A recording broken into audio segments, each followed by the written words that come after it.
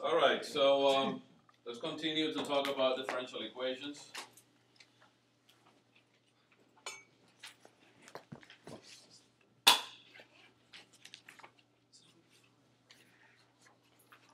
And this will be lecture ten, right? Eleven? Eleven. Lecture eleven. All right.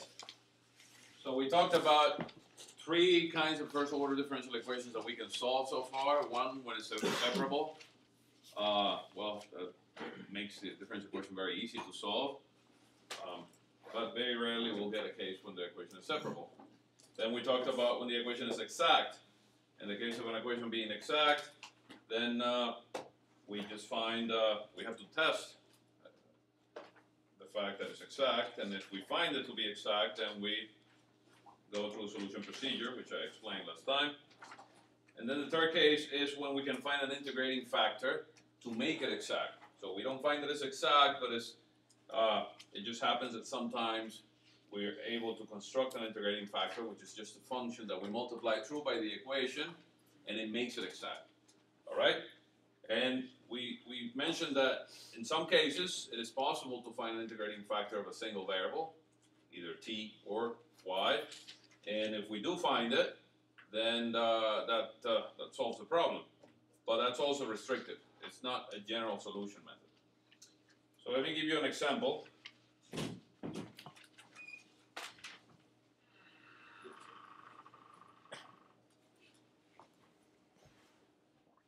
Given the following uh, first order ODE, we get 2 sine of y squared dt plus ty cosine of y squared dy.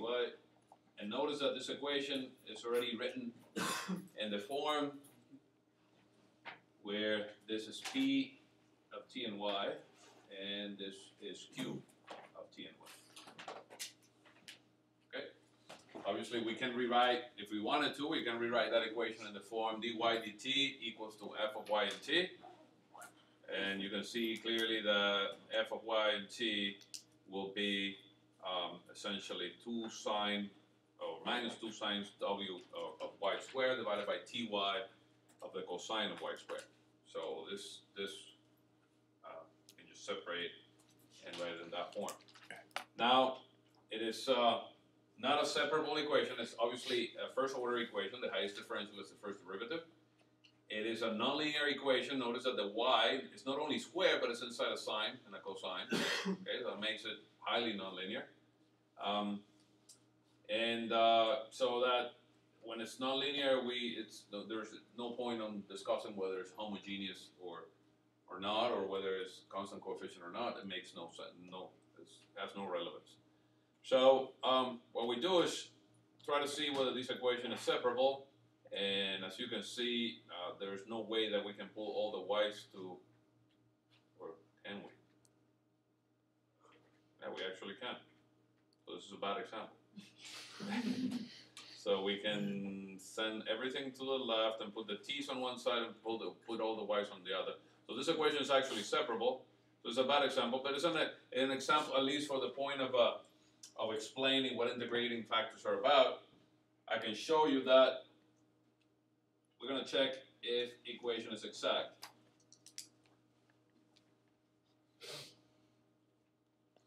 So we're going to take dp dy, which is d dy of twice the sine of y squared. And that will be what? This will be twice the cosine of y squared times the internal derivative, which is 2y. And that would be 4y squared times the cosine of y squared. And then we can take the q dt, that will be the derivative with respect to t of ty times the cosine of y squared. And that's just simply y cosine of y squared. And as you can see, this and these are not equal to each other. Okay, so that equation is not exact. Alright, so we have the PDY not equal to the QDT, and therefore ODE is not exact. So try an integrating factor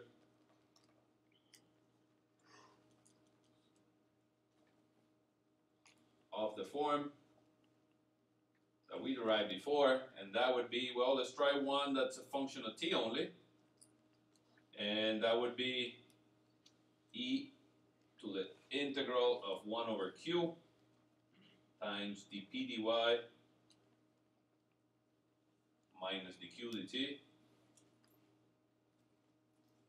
dt. Okay? And if we find an integrating factor that happens to end up being just a function of t, then that would be a function that would make that equation exact. But that's the challenge to find one that after you do this is just a function of t. This expression was found after we made the assumption that the resulting integrating factor would be a function of t only, that y would not be there. Alright, so the integrand there is 1 over q, the p dy minus q dt. And then that would be um, 1 over q, which is uh, ty cosine of y squared. And the p dy minus the q dt, the p dy is 4y cosine of y squared. And the q dt is um, y cosine of y squared. So as you can see, all the y's go away in this expression. So therefore, 1 over q dp dy minus dq dt ends up, be, ends up being 3 over t. So just a function of t. Alright, but that's not the integrating factor, that's the integrand of this expression right here. But it just happens to be just a function of t, so the resulting integrating factor is going to be just a function of t. So f of t is equal to e to the integral of 3 over t dt. Okay? So this is equal to what's the integral of 3 over t? What's the integral of 1 over t? dt over t? Huh? The log of t? Come on. You that. Freeze. Alright, so um, so um, it's convenient there to use the properties of logarithm to take this tree to the power of the argument there, log of t cubed. And then what is the exponential function of the logarithm of something? That's something. So that's t cubed. Alright, so this is a valid integrating factor because it's just a functionality. And that's how we express it. We we could have assumed from the beginning too that f of, that the integrating factor would be just a function of y and go through the same process and find a similar expression for the integrating factor. But if at the end we don't find that such a function, then it's not valid. So what we do is we rewrite the equation, multiply ODE by f of t. So that would give us um, 2 sine of y squared times d cubed dt plus t y cosine y squared t cubed times dy is equal to zero. So that will give us a new p of t and y and a new q of t and y. This equation is an analogous to the first one because all we did was multiply it through another function. So the solution to this equation is a solution to the original equation provided here. All we did was multiply through. So let's try again. dp dy, which is equal to d dy of twice t cubed sine of y squared is equal to twice t cubed cosine of y squared times 2y, which is equal to 4y t cubed cosine of y squared. And the q dt, which is equal to d dt of, this will be t to the fourth times y times the cosine of y squared is equal to, well, that would be four t cubed times y cosine of y squared. So as you can see, dp dy is equal to the q dt, so this equation is exact.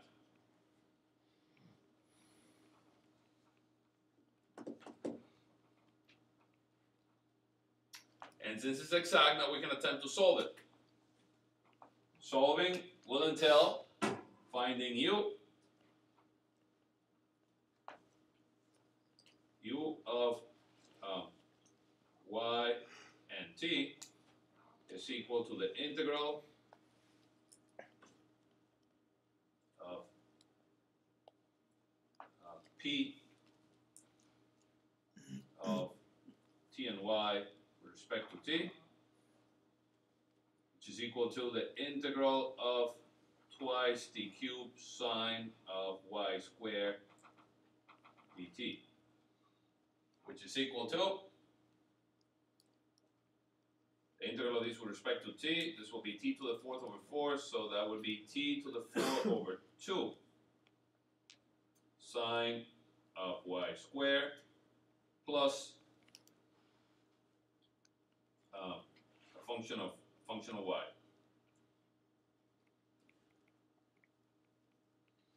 And simultaneously, this is a solution.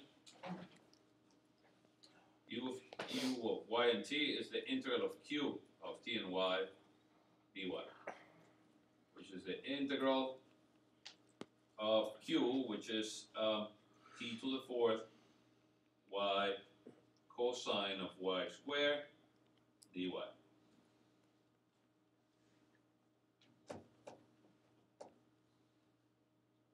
Right, so now we have to integrate the cosine of y squared, which locally has a y next to it because it needs the internal derivative or the derivative of the argument, but the derivative of y squared is 2y. So we need a 2 here and a 1 half. We need to pre-multiply by 1 half, multiply by 2. So now we have du times the cosine of u, or u prime times the cosine of u. So that would lead to t to the power of 4 times the 1 half that we pre-multiply times the sine of y squared, which is the integral of the cosine, plus g of t. Right? And as you can see, this one and this one are equal to each other. As you can see, fy doesn't show up here, so this one has to be 0. And this one doesn't show up there, so this one has to be 0.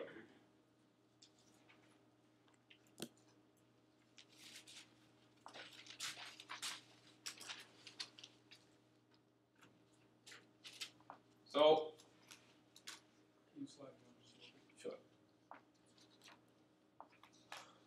The solution of the ODE is given by u of y and t is equal to a constant, and therefore that would mean that t to the fourth divided by 2 times the sine of y squared is equal to a constant.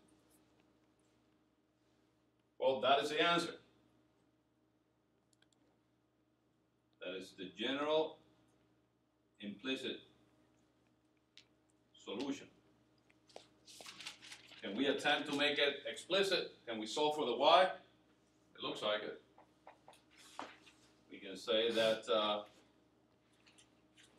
the sine of y squared is equal to 2c divided by t to the fourth, and therefore y squared is equal to um, the arc sine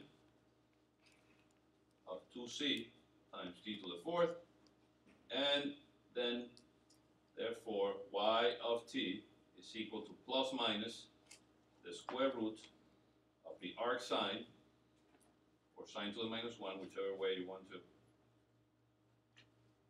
write the arc sine. And this is the general explicit solution.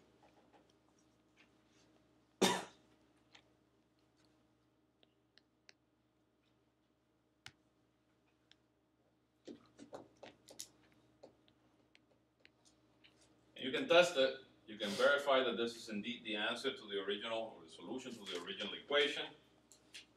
The original equation it being this one. You can plug it in there and find out what it is. and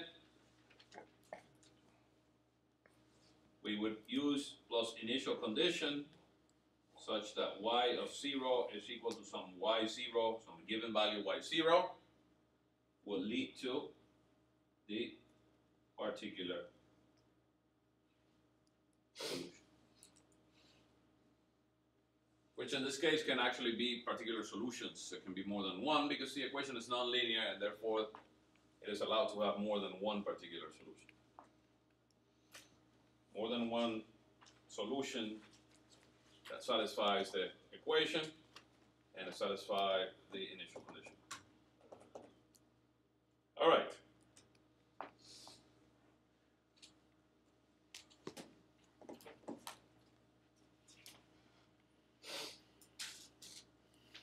So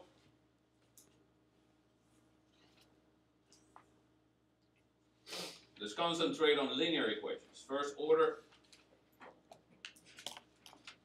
linear ODEs.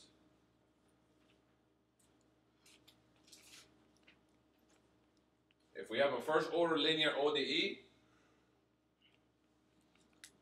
given the ODE written as, it in this form, dy dt plus some p of t times y of t is equal to r of t. Alright, so that's clearly a linear equation. We have first derivative, zero derivative. They're not multiplying each other, they're not square, they're not part of, they're not an argument of a, a rational or irrational function or transcendental function. It has variable coefficients. If p is a function of t, that's a variable coefficient. If r of t is different than zero, be, the equation is non-homogeneous. So this is a um, first order linear variable coefficient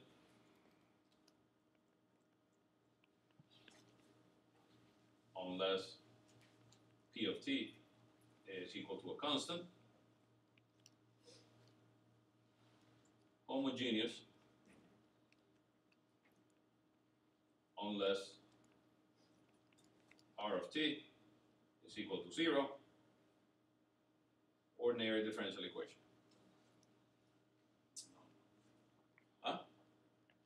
Maybe non-homogeneous. You're right.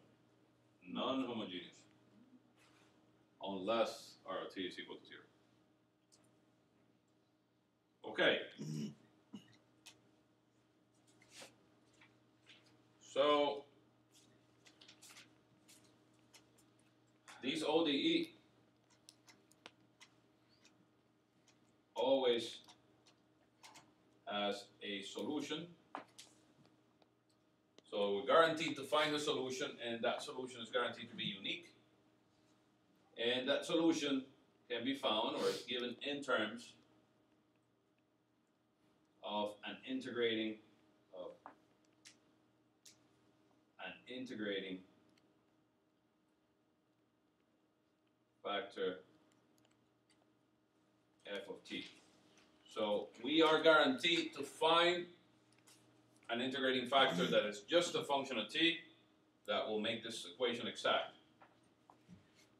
And the solution, the particular solution, y of t is unique. Okay, we can find that solution by applying this integrating factor. So let's rewrite this equation.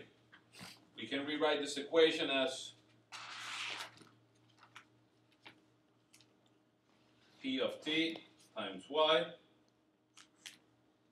minus r of t times dt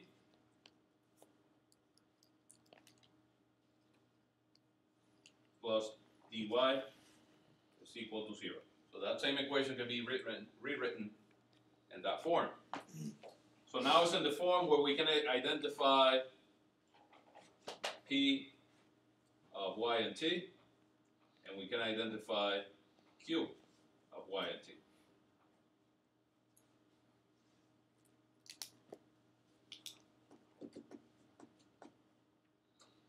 Alright? It is not guaranteed to be exact. The fact that it's linear doesn't mean that it's exact. But we can make it exact by multiplying it through. Find f of t and multiply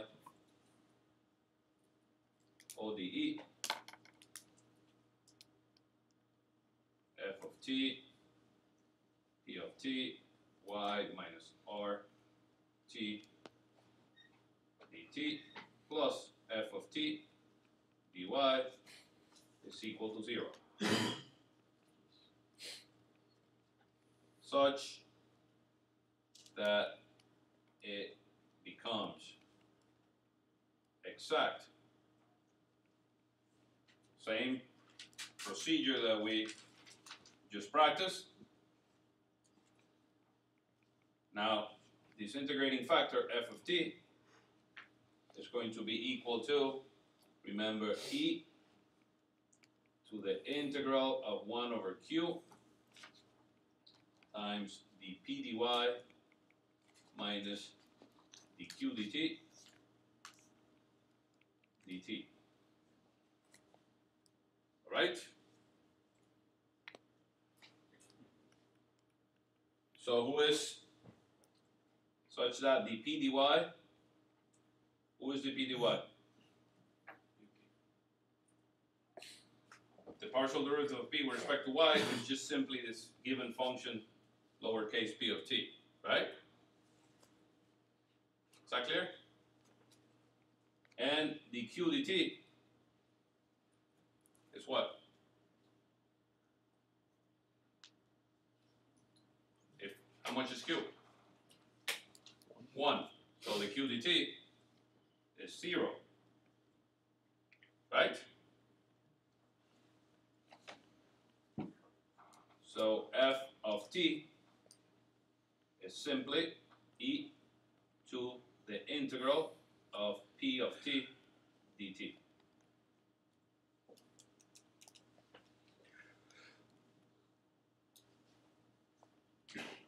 And this is a general integrating factor or first order linear ODEs. So anytime you're given an equation of this form, this is the integrating factor. This linear equation is not guaranteed to be exact. Fact, it's never exact. But you can make it exact by finding an integrating factor that happens to always be this. Alright? So now, what we're gonna do is pre-multiply the equation or multiply the ODE by this. Therefore, the ODE becomes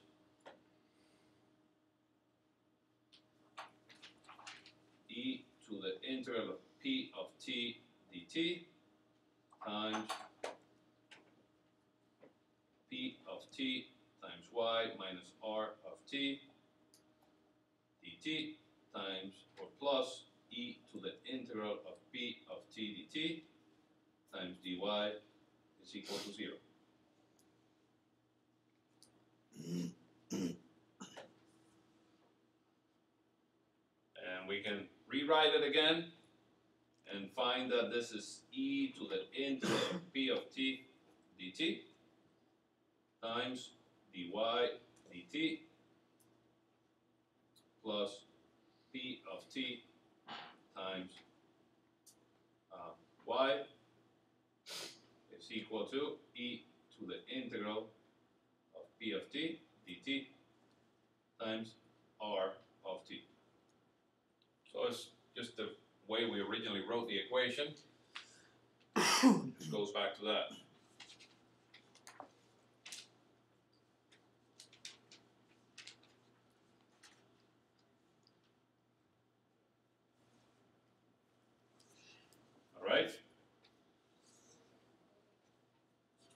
So we can take we can um, rewrite this by applying chain rule backwards as ddt of y of t times e to the integral of p of t dt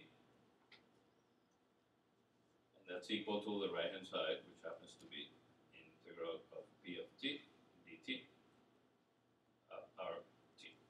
So this left hand side is the same as this left hand side. If we expand the left hand side by applying chain rule, we'll get this.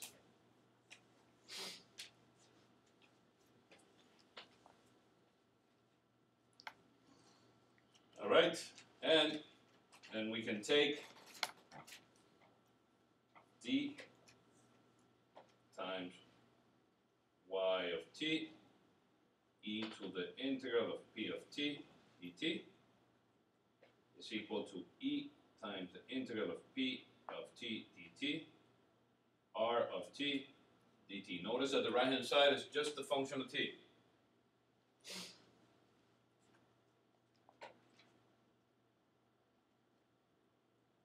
And now we can integrate on both sides.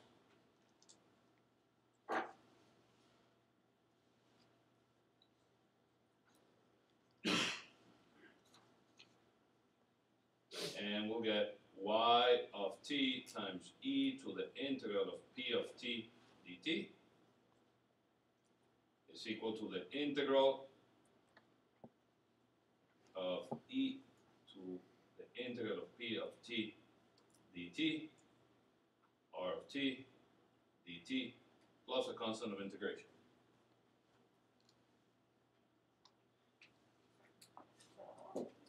So Finally, y of t, which is a solution to the equation we're looking for, is 1 over e to the integral of p of t dt times the integral of e to the integral of p of t dt r of t dt plus c. And this always works. So if the equation happens to be linear, we can always find an answer like that. So this is the general solution for any, for any first order linear. It has to be linear, implicit into that is an integrating factor, which happens to be e to the integral of p of t dt. But we already wrote it in and found the solution.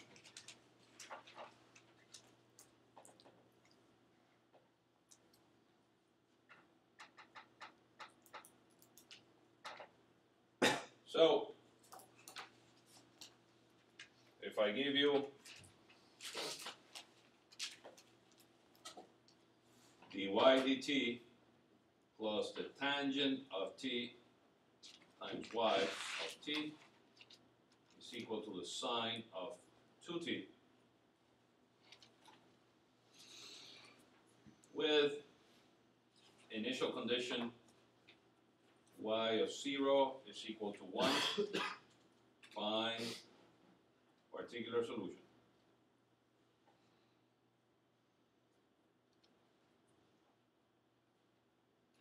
So given that differential equation, which happens to be linear in first order, then let's find the particular solution. So if we write the equation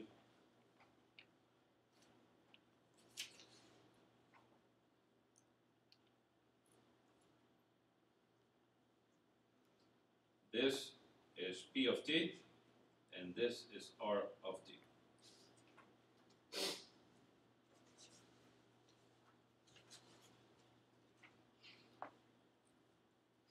So the integrating factor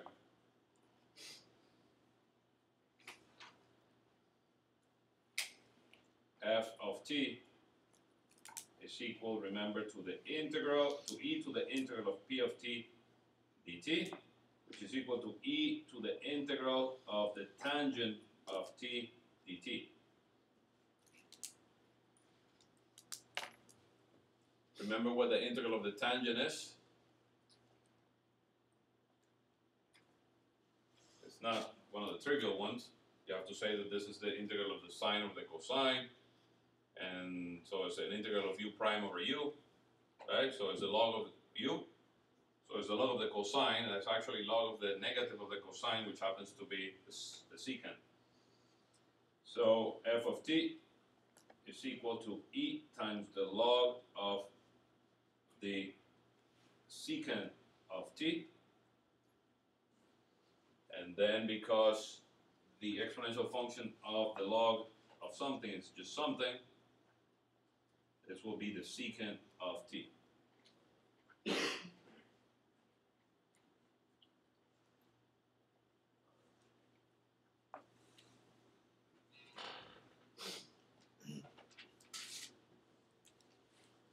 All right. So, the solution, general solution, happens to be y of t is equal to 1 over f of t times the integral of f of t times rt dt plus a constant of integration.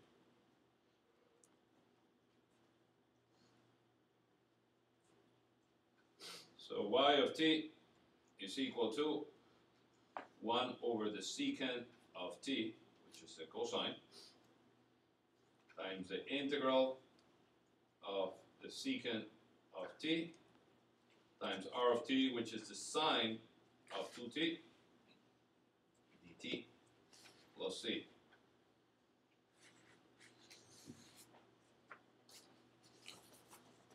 Right? So you can ask Maple or MathCAD to solve that, but let's just do it by hand for the sake of completion here. Um, I will take the sine of 2t and make it twice the sine of t times the cosine of t. That comes from the identity of the double angle, which comes from the identity of the summation of two angles. and remember that uh, 1 over the secant t happens to be the cosine of t.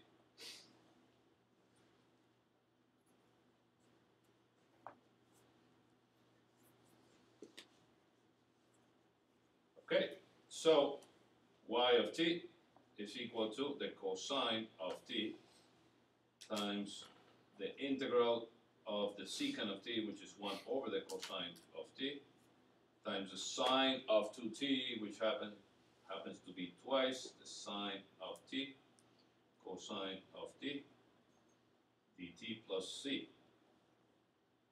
Cosine and cosine go away. So y of t is equal to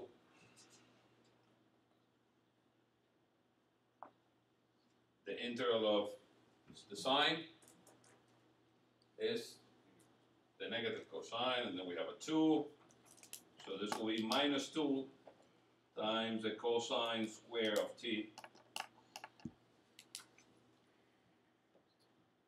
uh, plus c times the cosine of t.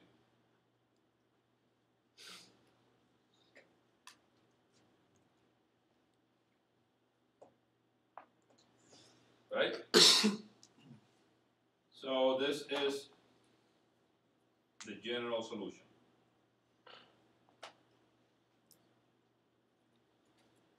This solves the equation. It doesn't satisfy the initial condition, but it is guaranteed that that function right there satisfies that equation. You can test it, take dy dt, take y, multiply times the sine. that should be equal to sine of 2t. right? So now we need to apply the initial condition.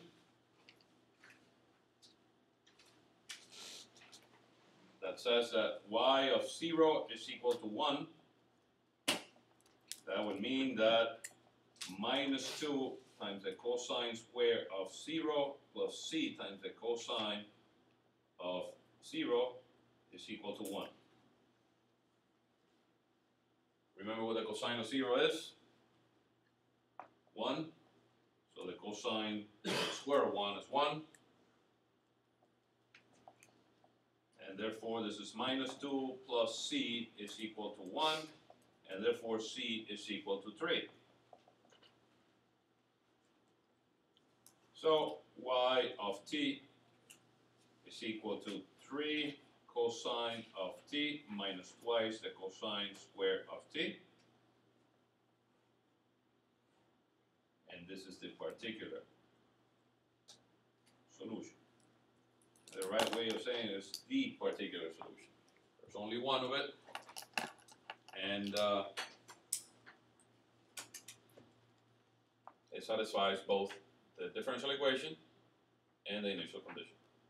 At time equals zero, you can see that this gives you one, which is a provided initial condition. All right.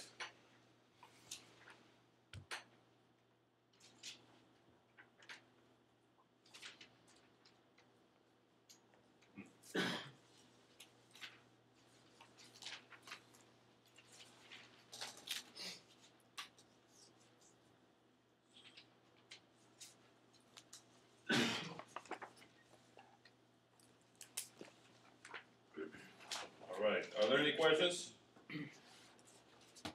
Goes here, goes here. And this goes here.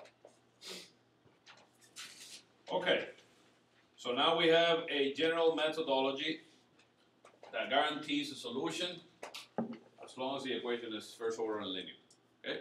It can be homogeneous or non-homogeneous, it can be variable coefficient or, or not. It doesn't matter. It is always guaranteed to get a solution. And that solution, the particular one, is unique. Okay? Now, in general,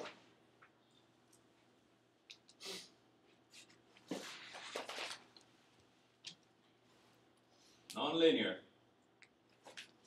first order. ODEs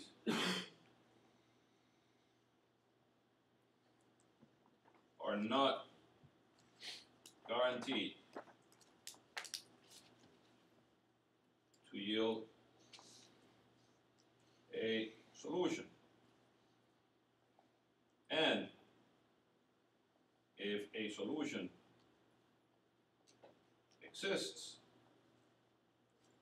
it may not be unique.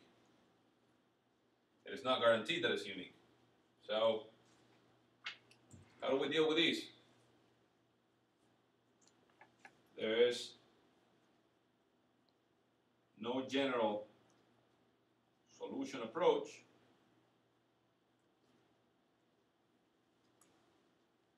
to nonlinear. ODEs, first orders, if they are not separable, exact, or if a single variable integrating factor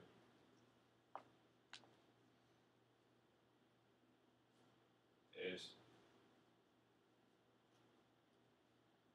not available. Okay? So, if the equation is separable, exact, or if an integrating factor is available, then we can solve it as we showed. But in general, there is no solution method. So what do we do? Huh? We give up? In general. Attempt a numerical approximation approach.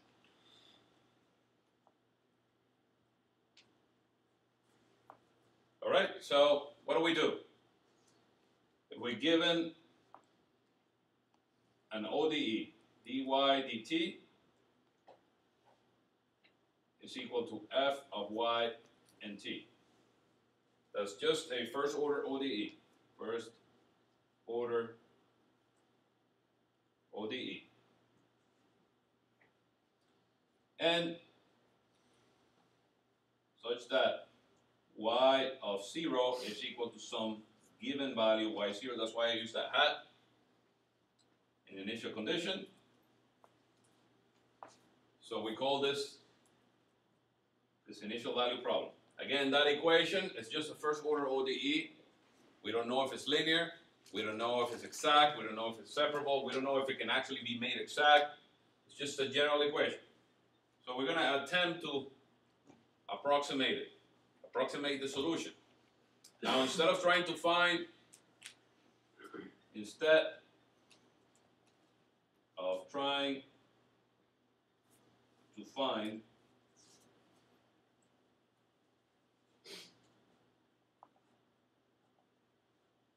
algebraic expression for y of t, try a discrete. There's no a discrete. A discrete distribution of yi at ti such that i is equal to 0 to some n final. Okay? So attempt a discrete distribution, a discrete solution. So, where do we start? We're going to try to expand y of t in a Taylor series about time tn. We're going to call this tn.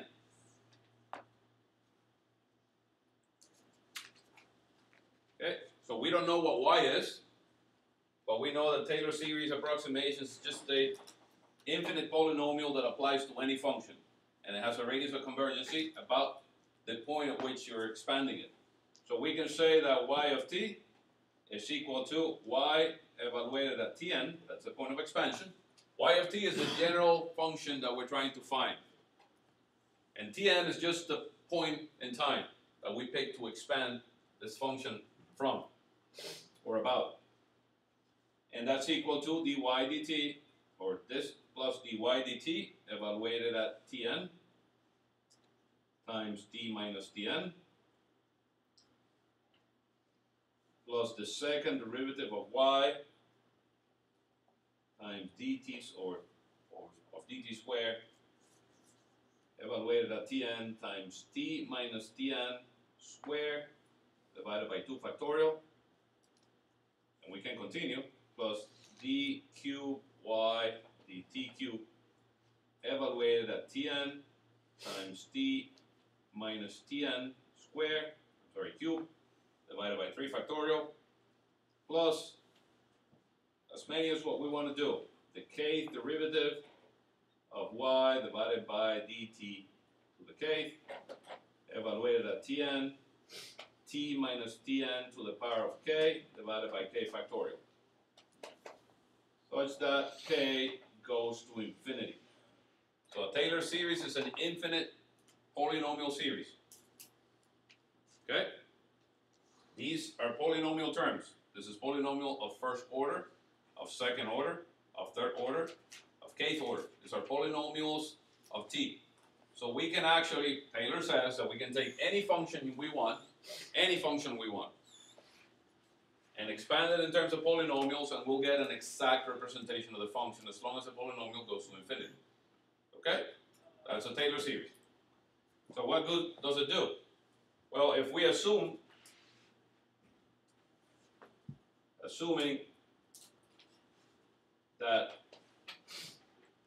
t minus tn is small,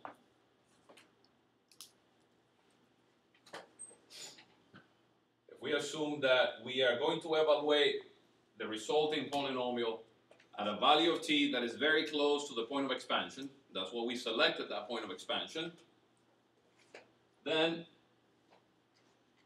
we can truncate the series after the second term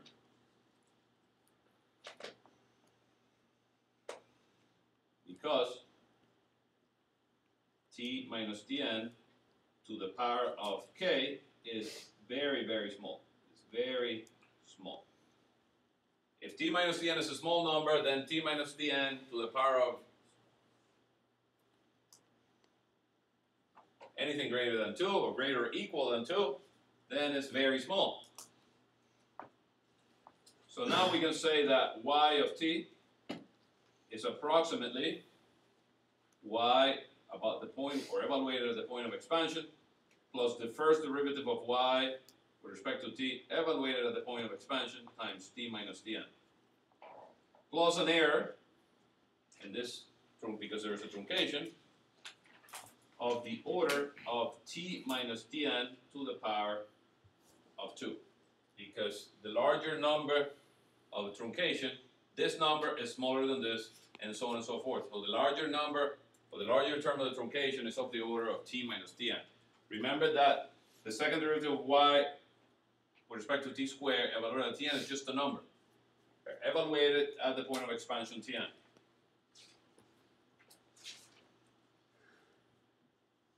So, we can solve for dy dt. dy dt evaluated at tn is equal to, or approximately equal to, y of t minus y at tn divided by t minus tn plus an error now of the order of t minus tn. So we divided everything by t minus tn.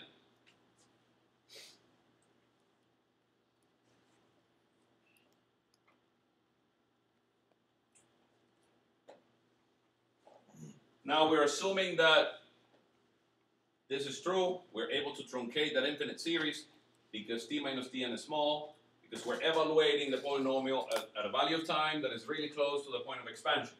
So let's let t be equal to tn plus 1. okay, so if the point of expansion is tn, let's call t some tn plus 1, some point in time that is really close to t, so that tn plus 1 minus tn is equal to delta t. And this is the time step.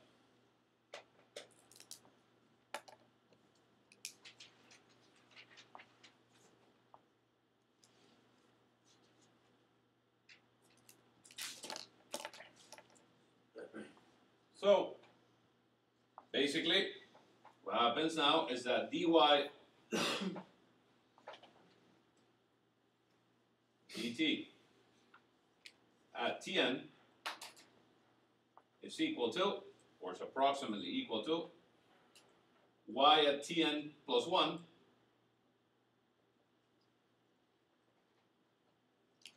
minus y at tn divided by delta t plus an error that's of the order of magnitude of delta t.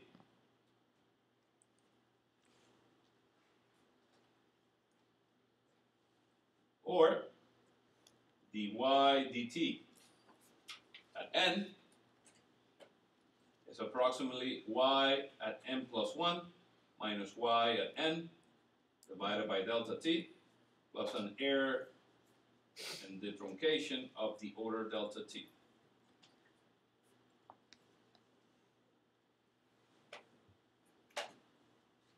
And that's where it comes from. We already knew that answer. We already knew that dy dt could be approximated as y at n plus 1 minus y at n divided by delta t. That's just a discrete first order approximation of the first derivative. Okay, so this is called the first order. And it's called first order not because it's the approximation of the first derivative, it's called first order because the truncation error is the first order. First order means order delta t, as opposed to order delta t square or delta t cubed. And the truncation error in this approximation is, is a finite difference approximation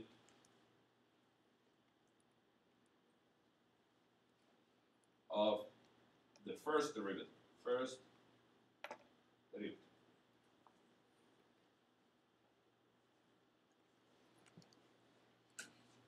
Alright, so what do we do with these?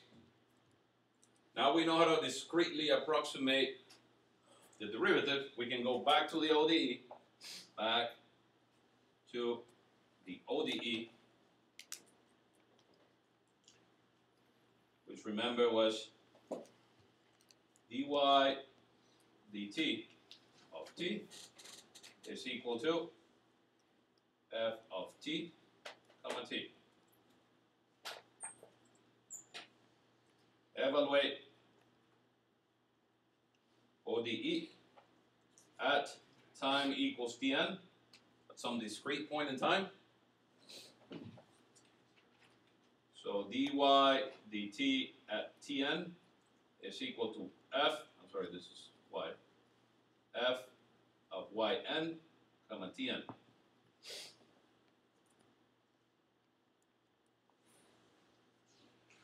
Remember that the function f is given as part of the differential equation that is predefined.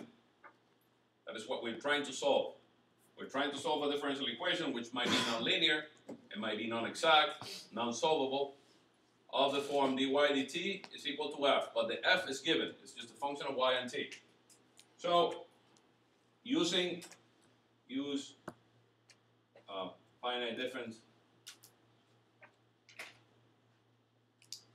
approximation of dy dn, or sorry, dy dt at tn, and that leads to yn plus 1 minus yn divided by delta t is approximately f of yn, comma tn.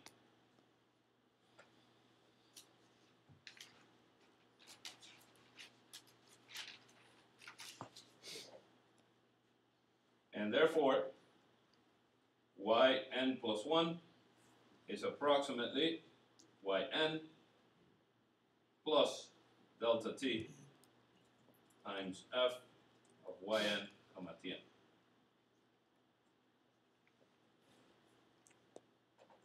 And this was the first attempt at numerically solving initial value problems. This is called the Euler's method.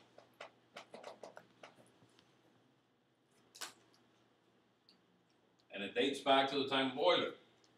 Way before computers were invented, they attempted to approximate the solutions of differential equations by doing this by hand, evaluating discretely in time.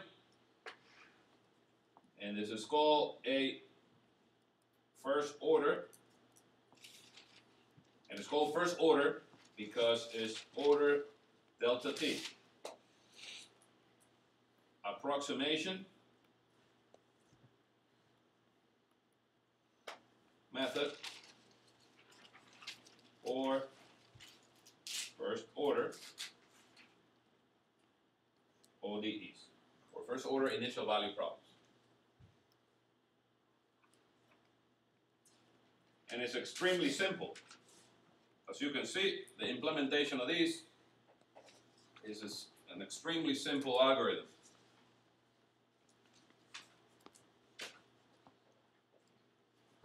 So you start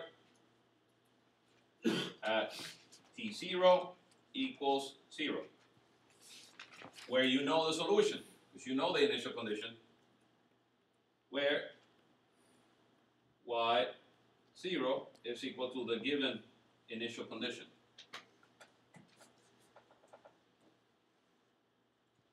And advance in time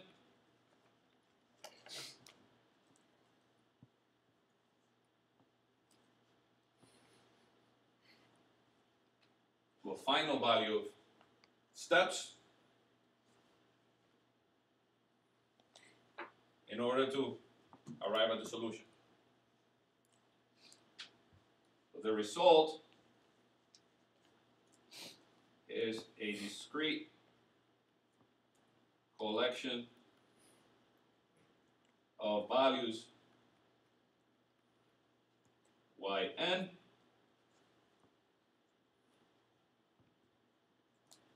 at tn such that n goes from 0 to some final time. So at the end of the day, we solve the equation without solving the equation, without coming up or arriving at an algebraic expression for the solution. We just arrive at the collection of values. Now this method, these approximation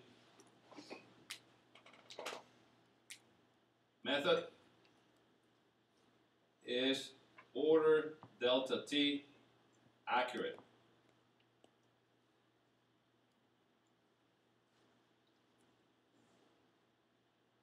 What does it mean?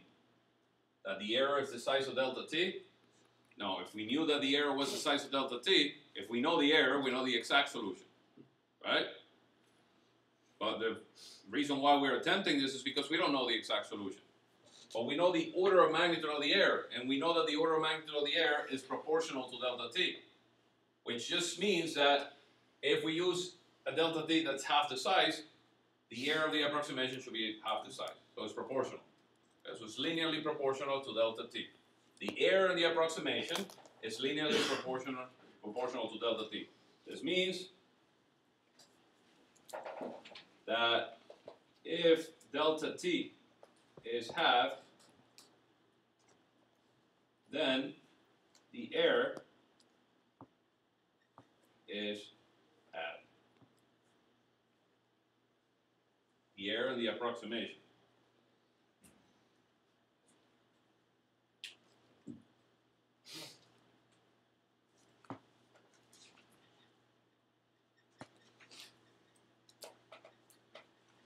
All right. So let's look at coming up with a method that is a little bit more accurate than this. This is just simply over delta t accurate. We need to derive a high order, a higher order method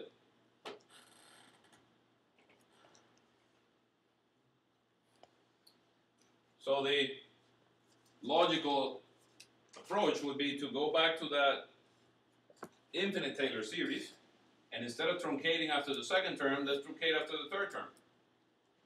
Okay, let's just keep the street. So what we do is go back to the Taylor series and truncate after the third term. So that would be y at n plus 1 is approximately y at n plus dy dt at n times delta t plus the second derivative of y with respect to t squared at n times delta t squared over 2 plus an error in the approximation of the order of delta t cubed. Because that's a truncation.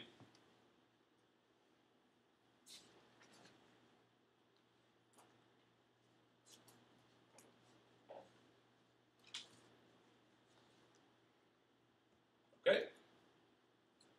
Now back ODE. The ODE we're trying to solve looks like dy dt is equal to f of y and t.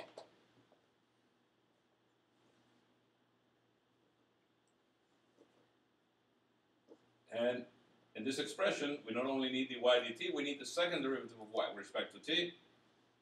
Therefore, the second derivative of y with respect to t squared is equal to the derivative of f with respect to t. Right? But notice f is a function of two variables, and we're trying to take a total derivative of that function with respect to t. So that would be what? Remember from chain rule, if we take the total derivative of a function of two variables, we'll get uh, the partial of f of y and t with respect to t times dt over dt, this is the dt in the denominator, plus the partial of f of y and t with respect to y times dy dt. Okay, so the total differential of df by chain rule is this. Okay, and I would just divide it by dt. The second derivative of y with respect to t squared is therefore simply df dt of y and t plus df dy of y and t times dy dt. And dy dt is f of y and t. Right? From the given ODE.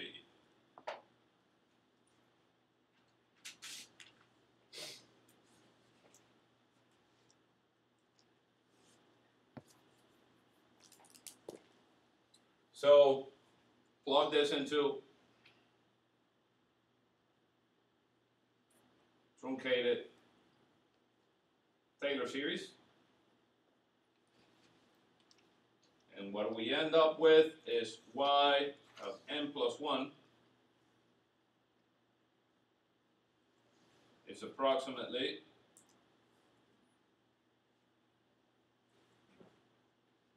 y at n plus dy dn, I'm going to look back at the Taylor series, dy dn or dy dt at n, that would be delta t times f of yn tn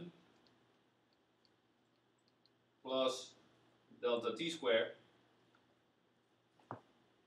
over 2 times df dt of yn tn plus df dy of yn tn times f uh, of yn tn.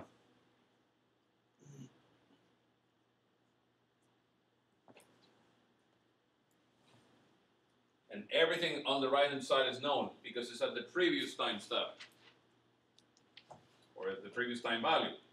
We know f, and hence we know df dy, and hence we know df dt, and we can evaluate those functions at the previous time level, tn, where we know the solution yn, because if we start from time equals zero, we know the initial condition. So this is the Euler's second order.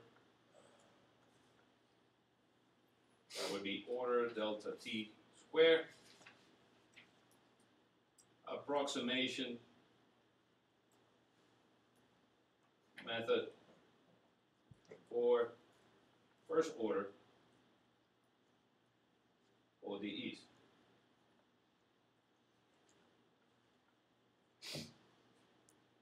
Again,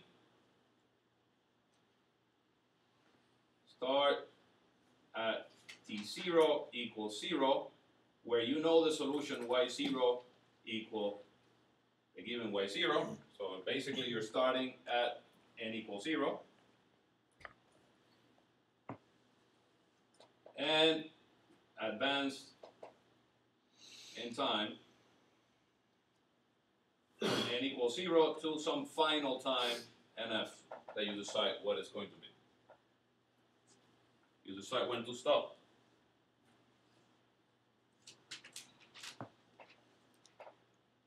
So this method is set to be second order accurate. This method is second order or order delta t squared accurate, which means that if the time step delta t is half, the error in the approximation.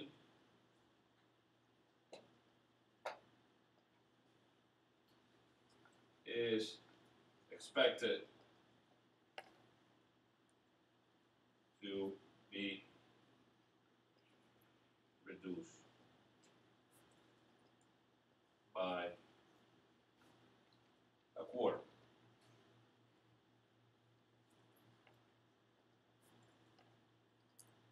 To a quarter. This means that the error decays faster with size of delta t. Okay.